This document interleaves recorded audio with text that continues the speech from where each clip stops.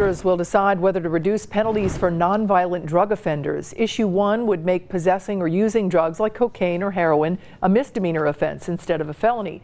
Groups that work with addicts say felony convictions can be a roadblock for those trying to turn their lives around.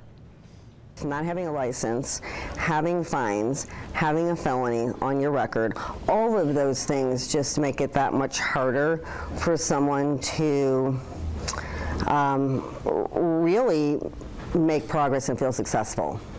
If passed, the law would apply to those currently behind bars, allowing them to petition previous convictions. Critics worry about repeat offenders, saying those who commit the crime need to serve their time.